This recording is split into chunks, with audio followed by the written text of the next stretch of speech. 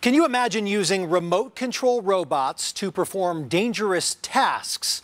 One Utah company hopes to make that a reality. Salt Lake City Mayor Erin Mendenhall visited Sarcos Robotics, which moved into its new Salt Lake City headquarters last year.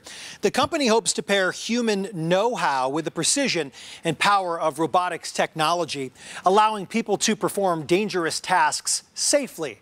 The mayor got to take one of the robots for a test drive. This is the epitome of what we've been talking about for Tech Lake City. We have a unique neighborhood here. It's gritty, it's cool. A lot of tech talent wants to be in a place like a capital city with this kind of an environment. Sarcos originally operated out of the University of Utah Research Park before making the move to their new location.